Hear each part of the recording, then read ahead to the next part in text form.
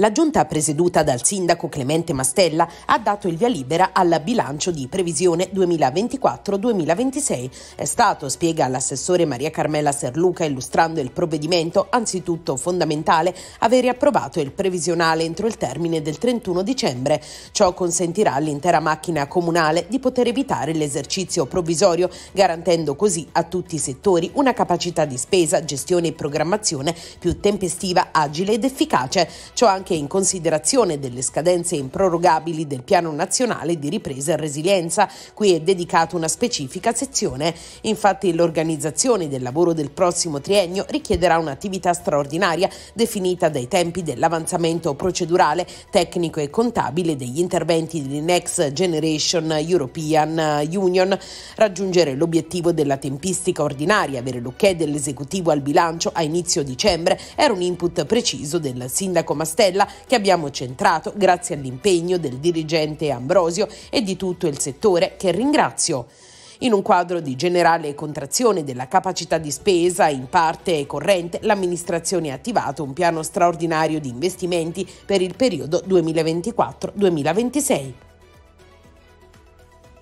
Incidente stradale nel Fortore, infatti per cause in corso di accertamento a Baselice si sono scontrati un SUV ed un'auto. Nel violento impatto sono rimaste ferite due donne, una madre ed una figlia, che viaggiavano all'interno del SUV. Sul posto i sanitari che hanno trasportato la madre in codice rosso all'ospedale San Pio e i carabinieri per le indagini del caso. Le fiamme gialle del Comando Provinciale di Benevento, nell'ambito dei controlli di polizia ambientale, hanno sequestrato una superficie adibita abusivamente a discarica di rifiuti. In particolare i militari del nucleo di polizia economico-finanziaria hanno individuato un'area di circa 20.000 metri quadrati costituita da un fabbricato industriale di cemento non ultimato circondato da terreno incolto, sito in un comune della provincia di Benevento, all'interno del quale sono stati ammassati diversi rifiuti, nello specifico computer, televisori, pneumatici, pneumatici, frigoriferi, mobili dismessi, vari pannelli ed ancora residui di combustione, tubi di plastica, pannelli di amianto e materiale elettrico. Inoltre nell'area adibita a deposito incontrollato di rifiuti a cielo aperto risultano presenti anche cinque vasche dalla significativa profondità e larghezza, di cui una con presenza di acqua sul fondo, prive di qualsiasi forma di messa in sicurezza essendo tra l'altro tutte senza copertura. Tutta l'area è da ritenersi pericolosa per l'incolumità di persone ed animali che entrassero fossero nell'area posta sotto sequestro. Abbiamo raccolto le testimonianze di una fetta importante della città che si vanta orgogliosamente della sua vocazione culturale e della sua storia, un patrimonio che deve essere tutelato e valorizzato. Così l'assessore all'urbanistica Molli Chiusolo commentando il terzo incontro organizzato a Palazzo Paolo V in vista della redazione del PUC, il piano urbanistico comunale. Abbiamo ascoltato gli operatori culturali e l'università aggiunto che saranno protagonisti della redazione del nuovo piano urbanistico comunale, così come tutti gli attori che hanno partecipato sinora finora ai nostri incontri e li hanno arricchiti con osservazioni, richieste e proposte. L'obiettivo dell'amministrazione è quello di disegnare uno strumento urbanistico condiviso e modellato alle esigenze di una città che ha bisogno di rinnovarsi per afferrare le sfide del futuro. Per quanto riguarda la città culturale, ha concluso l'assessore, dovremmo tenere ben presente il patrimonio materiale ed immateriale storico-artistico che abbiamo a disposizione così come dell'eventuale ed auspicato riconoscimento UNESCO per la via Appia Regina Viarum, un elemento quest'ultimo che comporterebbe una revisione della buffer zone. La Giunta regionale della Campania ha destinato 70 milioni di euro a valere sulle risorse FSC 2021-2027 per la realizzazione del programma strategico di interventi finalizzato al rammaio sulla rete ordinaria con i comuni interessati del terzo e quarto lotto dall'alta velocità alta capacità Napoli-Bari. Ad annunciarlo è Fernando Enrico, delegato del presidente De Luca per la tratta Sannita Napoli-Bari. Ancora una volta, continua Enrico, ringrazio il presidente De Luca e del presidente della Commissione Trasporti Cascone per il grande lavoro che stanno svolgendo a difesa dei nostri territori, anche per quanto riguarda i fondi destinati ai ristori. Un grazie ai sindaci dei comuni sanniti attraversati dall'alta velocità capacità per il lavoro di squadra portato avanti fino ad oggi e a rete ferroviarie italiane per il lavoro che stanno portando avanti sia sui cantieri sia su quelli propedeutici.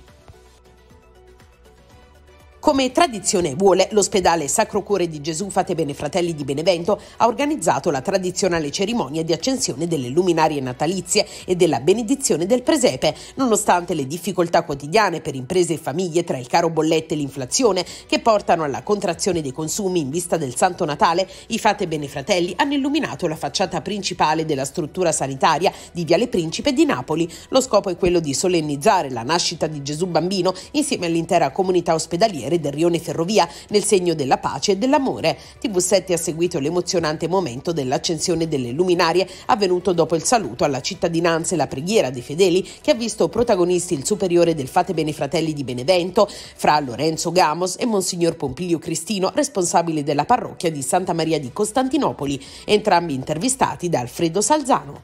Questa ormai è una tradizione ogni anno per la comunità ospedaliera e la comunità parrocchiale, un cammino insieme per mostrare in città che Gesù è la vera luce del mondo. Nonostante la difficoltà economica e energica che abbiamo questo anno, cerchiamo di avere questa tradizione che promuove anche il segno della pace e comunione con la, la città di Benevento. Ecco, questo è il messaggio dei Fate Bene Fratelli con il Superiore, con Monsignor Pompilio Cristino che invece è l'anima eh, qui al rione eh, Ferrovia, diceva poco fa, eh, è bello vedere di giorno i pastori, le casette, tutti gli elementi caratterizzanti il presepe e poi di notte la suggestiva luce, quella che stiamo vedendo in questo momento.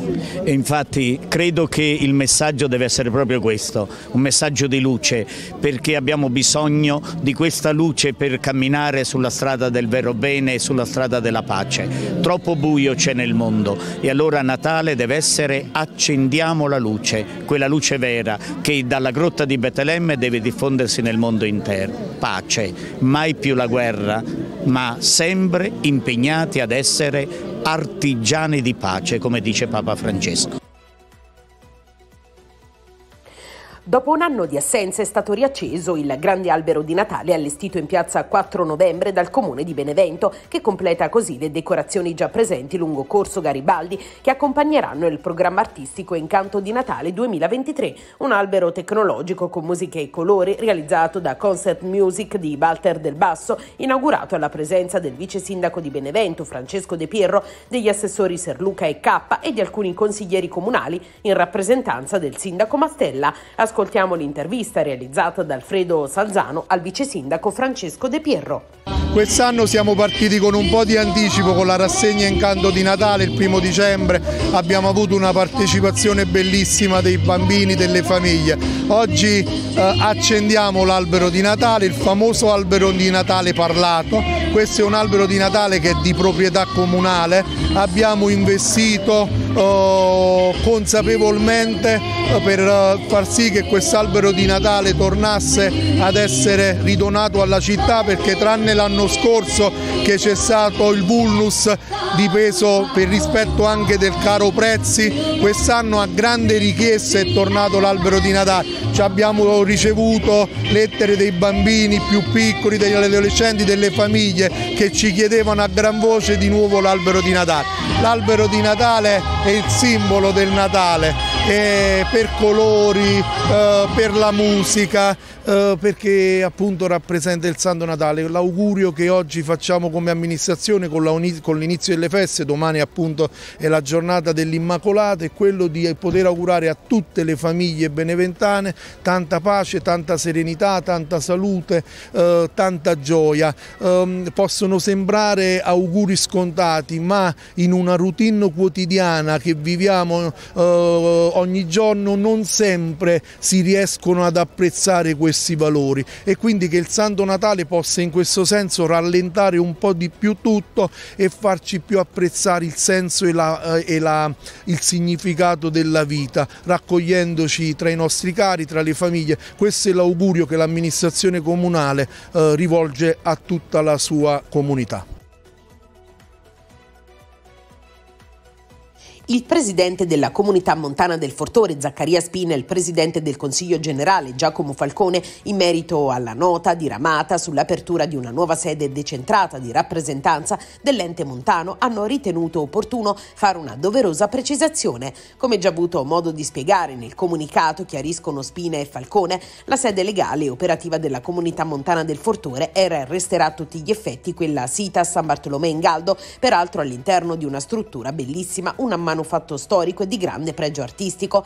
A Paduli sarà organizzato una sorta di sportello decentrato che va ad aggiungersi e non a sostituirsi e con lo scopo di rendere più capillare la presenza dell'ente ed aumentare la visibilità dello stesso sul territorio.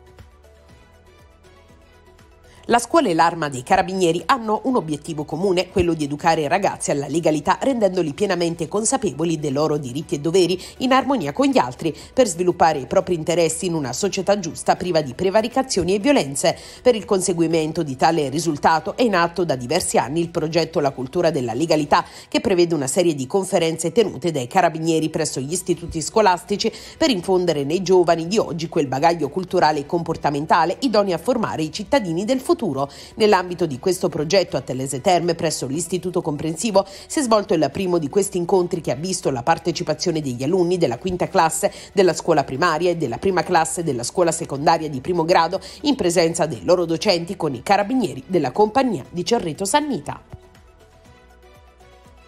Le classi quarta e quinta del liceo scientifico del Plesso di Morcone e dell'Istituto Don Peppino Diana hanno accolto nell'aula magna dell'Istituto il presidente della Camera Penale di Benevento, l'avvocato Simona Barbone e i colleghi avvocato Domenico Cristofaro e avvocato Giuseppe Nardone, dando il via al primo incontro del progetto Scuola, un percorso sulla legalità attraverso i principi costituzionali, nato da un protocollo d'intesa sottoscritto dall'Unione Camere Penali Italiane il Ministero dell'Istruzione e del Merito. Il progetto è diretto a promuovere l'educazione attenzione alla legalità e al rispetto delle regole, con particolare riferimento ai principi costituzionali afferenti al processo penale ed ha come obiettivo quello di fornire agli studenti un'adeguata informazione sul mondo della giustizia, inserendosi pertinentemente nell'ottica trasversale dell'insegnamento e dell'educazione civica.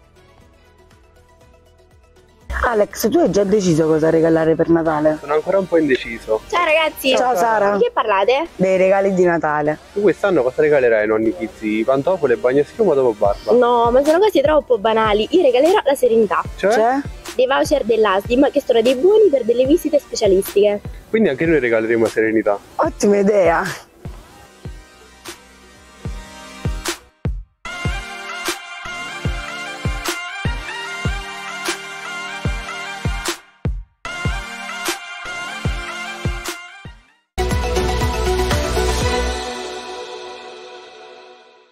Benevento Calcio comunica che fino alle 19.15 del 10 dicembre saranno disponibili esclusivamente nelle ricevitorie autorizzate Ticket One i tagliandi validi per la partita Benevento Avellino in programma il giorno 10 dicembre alle 18.30.